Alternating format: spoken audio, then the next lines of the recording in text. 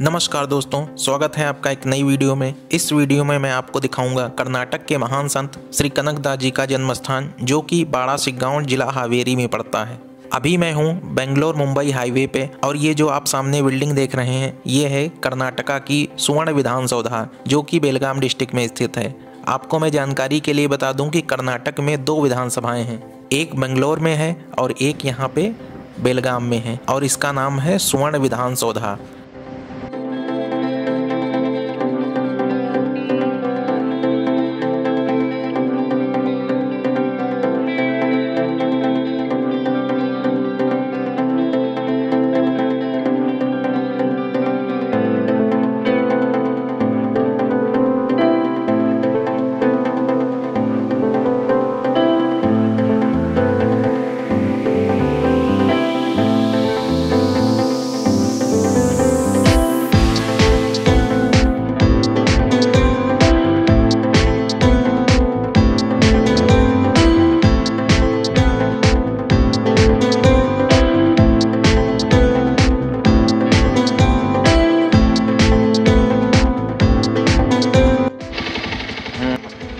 भाइयों के साथ लिफ्ट लेके आए हैं यहाँ पे और अब पहुँच चुके हैं कनकदास पैलेस बाड़ा सिग्गांव तो सिग्गांव से यहाँ तक जो कनकदास जी का पैलेस है, वहाँ तक हम पहुँच चुके हैं और इधर देख सकते हैं सामने, कनकदास जी का पैलेस है।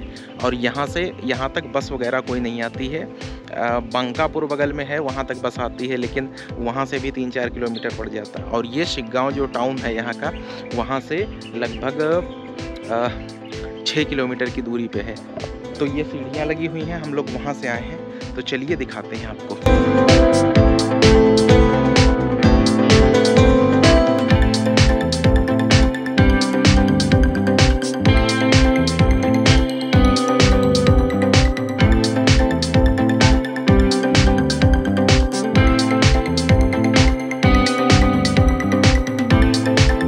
तो कनकदास जी की स्टेचू लगी है, काफ़ी बड़ी सा, बड़ी सी। और यहाँ पे ये फिर शुरू होता है कनकदास जी का महल।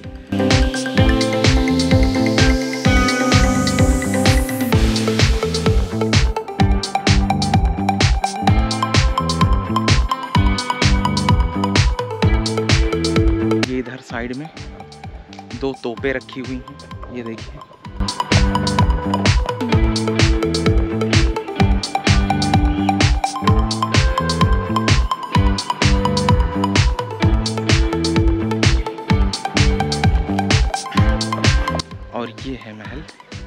चलिए चलते हैं अंदर और महल को दिखाते हैं।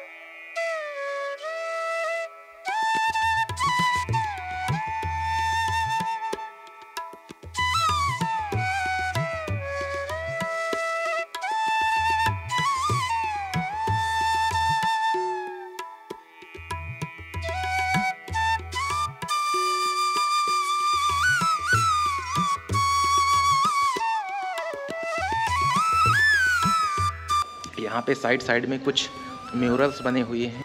तो वो आप देखिए, और यहाँ पे सारा सब कुछ कन्नड़ में ही लिखा हुआ है, इंग्लिश में कुछ नहीं लिखा हुआ है, ना हिंदी में लिखा हुआ है। तो इस वजह से मैं बता नहीं पाऊँगा ये क्या है और कैसे क्या है। तो इस वजह से आप लोग देख सकते हैं यहाँ पे।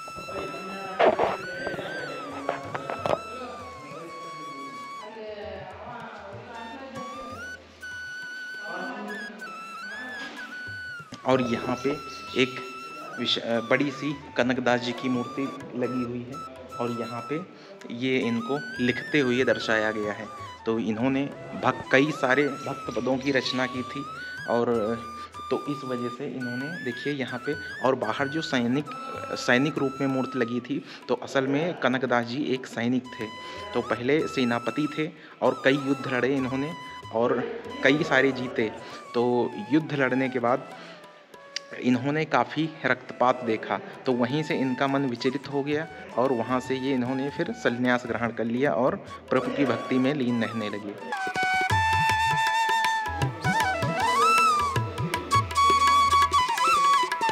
और अब यहाँ से, और इस साइड में यहाँ पे ये, अंदर एक सेक्शन है, यहाँ पे भी चलते हैं।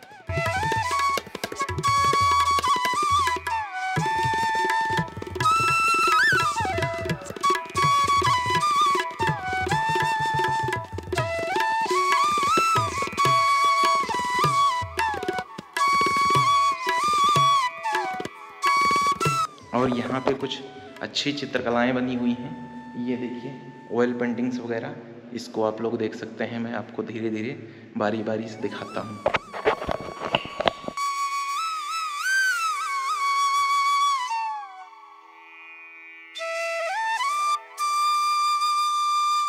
कनकदास जी का जन्म 30 नवंबर 1509 ईस्वी को बाड़ा शिगांव में एक भेड़ पालक कुरबा परिवार में हुआ था।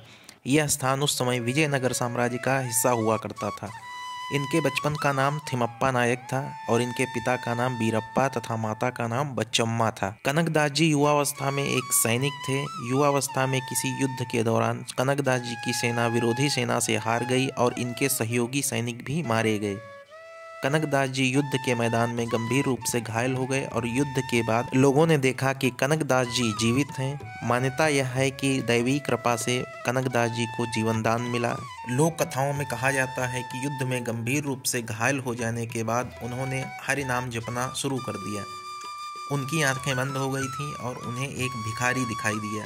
कनकदास जी ने उससे पूछा, तुम कौन हो? तो भिखारी ने उत्तर दिया कि, मैं तुम्हारे बुलाने पर आया हूँ। कनकदास जी ने भिखारी को भगवान कृष्ण समझा और भगवान श्री कृष्ण ने कनकदास से उनकी तीन इच्छाएँ पूरी करने की बात कही। भगवान कृष्ण ने कनकदास जी से सबसे पहले पूछा कि क्या तुम्हें खजाना चाहिए? इस पर कनकदास जी ने मना कर दिया। कनकदास जी ने भगवान श्री कृष्ण से तीन तीन वरदान मांगे।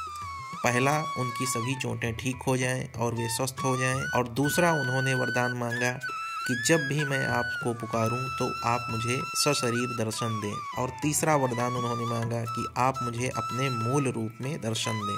भगवान श्री कृष्ण जी ने कनक दास जी की तीनों इच्छाएँ पूरी की। भगवान श्री कृष्ण जी को उनके मूल रूप में देखकर कनकदास जी मंत्रमुग्ध हो गए और इस घटना के बाद कनक दास जी ने सैनिक पेशे को हमेशा हमेशा के लिए त्याग दिया और खुद को संगीत, रचना, साहित्य और श्रीहरि के बारे में लोगों को दर्शन समझने के लिए समर्पित कर दिया। उडुपी में एक ऐसी घटना घटित हुई, जिसने कनकदास जी को महान संत बना दिया।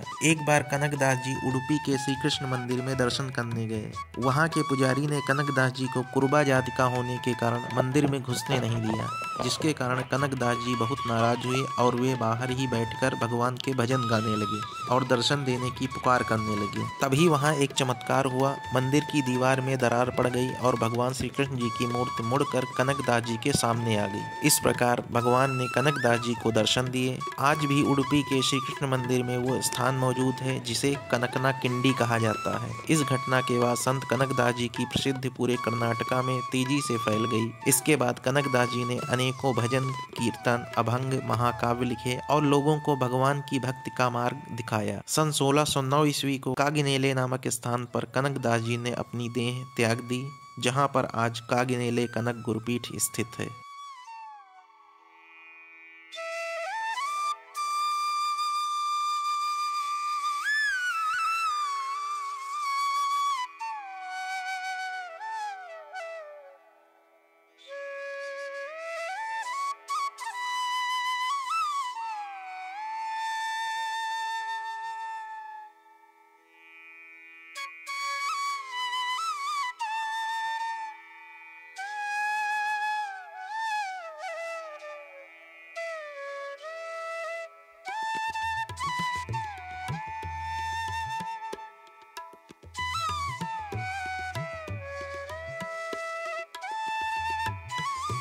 और ये मुख्यतः किले ये जो महल का ये सभागार था।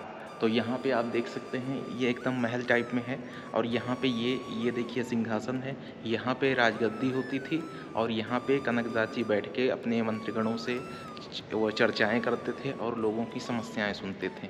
तो ये देखिए आप यहाँ पे चारों तरफ़ और ये एग्जैक्ट पुराना जो महल था यहाँ पे, जो खुदाई में निकला था, वैसे ही यहाँ पे बनाया गया है नए तरीके से।